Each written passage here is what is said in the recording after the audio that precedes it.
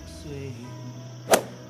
It's Sarazen's double eagle at the 15th, 45, and the spirit of Clifford Roberts that keeps it alive.